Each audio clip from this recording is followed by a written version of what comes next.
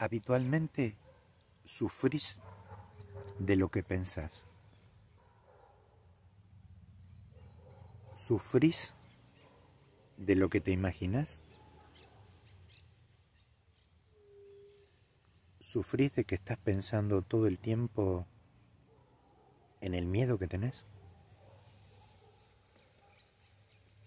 ¿Sufrís de que tenés dificultades para tomar decisiones? ¿Te cuesta tomar una decisión? ¿Pasas mucho tiempo dudando?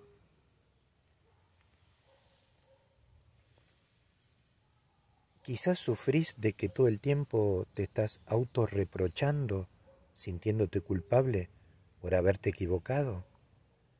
Todo el tiempo te estás torturando, recriminándote porque te equivocaste. ¿Ese es tu hábito? ¿El hábito de la depresión? ¿De la autocondena? ¿Del autocastigo? La culpa.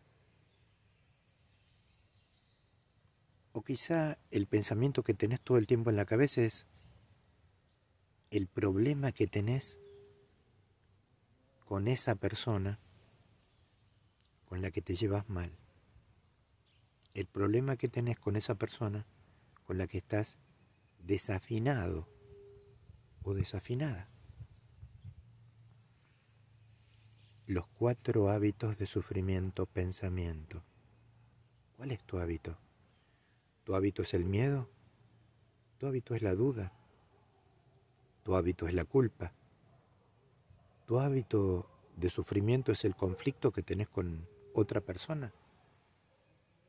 Los cuatro canales de TV de la mente. Si querés profundizar, en nuestro canal de YouTube tenés el video de los cuatro canales los que quieran estudiar, para que los que quieran estudiarse un poco a sí mismos. Te deseo que seas muy, muy feliz. Y no dejes para mañana lo que puedas disfrutar hoy. Muy, muy feliz.